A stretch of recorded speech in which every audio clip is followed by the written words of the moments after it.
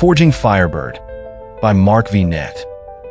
Firebird is a sexy, red-hot vixen from the Emerald Isles, who, before joining Denary's global team of fascinating experts, lived a life of turmoil with her father in Dublin, Ireland.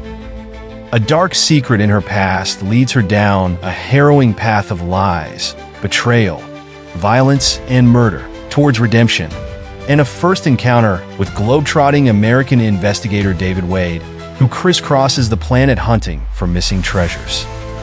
Prolific author Mark Vinet presents his second Denary story, Forging Firebird.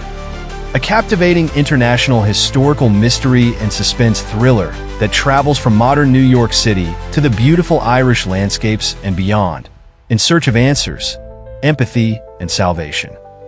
This fast-paced action-adventure turns back the clock to the heights of the British Empire and revisits the splendid artworks of its Celtic subjects to help solve a scandalous and dangerous enigma.